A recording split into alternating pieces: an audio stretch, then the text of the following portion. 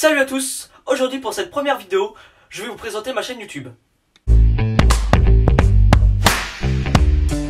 Tu aimes l'impression 3D ou tout simplement regarder des timelapses? Cette chaîne est faite pour toi.